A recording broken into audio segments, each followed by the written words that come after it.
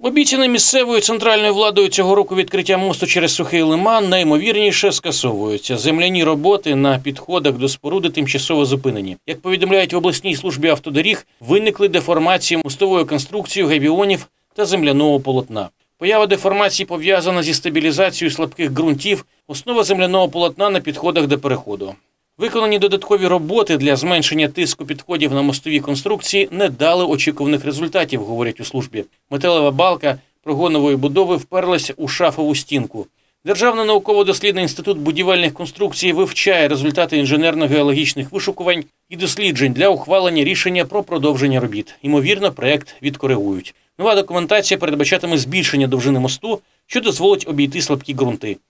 Про терміни введення об'єкта в експлуатацію вже ніхто не говорить.